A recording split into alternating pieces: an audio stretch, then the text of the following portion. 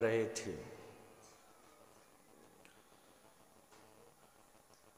प्रतिवर्ष ये कथाएँ होती हैं और आप सब वर्ष भर इंतज़ार भी करते हो कि यज्ञ होगा तो यज्ञ में सत्संग अवश्य सुनने को मिलेगा। संगति करण देव पूजन दानेशु। यज्ञ में देवता का पूजन अनिवार्य तो है ही। लेकिन सत्संग होना भी अनिवार्य है। सत्संग के साथ साथ दान करना भी अनिवार्य है।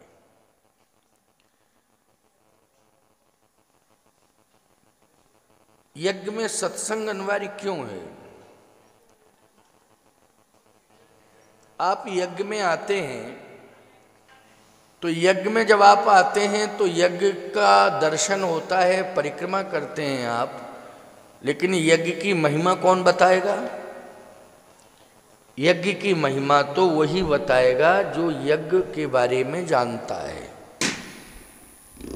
जो यज्ञ के बारे में जानता है, वो यज्ञ की महिमा बताता है। यज्ञ की महिमा संत बताते हैं, क्योंकि संत यज्ञ करते हैं। लेकिन कभी कभी ऐसी कंडीशन आ जाती है कि यज्ञ में व्यवधान हो जाता है। कभी कभी प्रकृति के द्वारा भी व्यवधान हो जाता है, जैसे बहुत तेज हवा, पानी आ जाए तो लगता है कि बहुत व्यवधान हो गया। कहीं कहीं तो घास फूस के मंडप बनते हैं तो उड़ जाते हैं। अभी भिंड ज़िले में एक बहुत बड़ा यज्ञ चल रहा था, जिसमें लगभग 500 से भी अधिक विद्वान आए थे। था तो 108 कुंडी यज्ञ, लेकिन उसमें 500 विद्वान दुर्गा पाठ कर रहे थे। दुर्गा सप्तती का पाठ चल रहा था। क्यों शास्त्री जी? कितने पंडित थे? 500 से 500 से कुछ अधिक ही थे। लेकिन एक दिन इतना तेज पानी आया, इतना तेज हवा का प्रवाह हुआ कि यज्ञ मंडप प्रभावित हो गया। लेकिन पूर्णाहुति के बाद तो इतना प्रभावित हुआ यज्ञ मंडप कि यज्ञ मंडप ही गिर गया, लेकिन पूर्णाहुति हो गई थी। तो प्यारे प्रकृति के द्वारा भी कभी कभी परेशानी पैदा हो जाती है। कभी कभी समाज के द्वारा परेशानी पैदा हो जाती है। कभी कभी धन के अभाव में परेशानी पैदा हो जाती है। परेशानियाँ कभी ना कभी आ जाती हैं, लेकिन याद रखना, यज्ञ सबकी परेशानी दूर करता है। जिसके जीवन में परेशानी है, वो यज्ञ की शरण में आ जाए तो यज्ञ भगवान उसकी परेशानी दूर कर देते। हमारे आपके जीवन में होमात्मक यज्ञ कभी कभी होता है। ज्ञानात्मक यज्ञ भी कभी कभी होता है। लेकिन प्यारे, होमात्मक यज्ञ के लिए हमें तैतीस करोड़ देवताओं को आमंत्रित करना पड़ता है। लेकिन ज्ञान यज्ञ के लिए किसी संत को आमंत्रित करना पड़ता है। अथवा दो चार संत भी आ जाते हैं। लेकिन मुख्य रूप से किसी एक विशेष संत को आमंत्रित करना पड़ता है।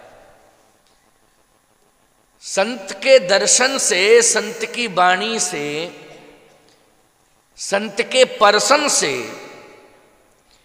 पाप नष्ट हो जाते हैं, तुलसीदास जी के मत से। साधु नाम, दर्शनम, पुण्यम, ये तो शास्त्र कहता ही है कि संत के दर्शन से पुण्य प्राप्त होते हैं। लेकिन तुलसीदास जी क्या कहते हैं कि संत के दर्शन से पुण्य तो प्राप्त होते ही हैं। लेकिन पाप अनंत जन्मों के पाप नष्ट होते हैं। अनंत जन्मों के पाप नष्ट होते हैं। कब होते हैं पाप नष्ट? जब द्रवही दीन दयालु राघव, तब साधु संगत पाइए। जही दरस परस समागमादिक पाप रास नसाइए जो पापों की रास रासमानी ढेर।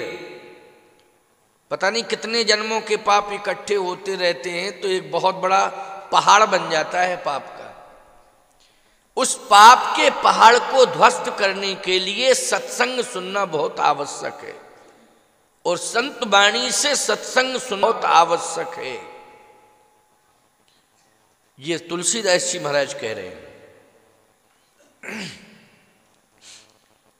एक बड़ी प्रसिद्ध कथा है।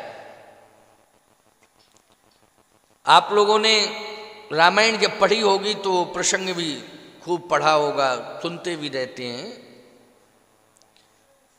कि दशरथ जी महाराज को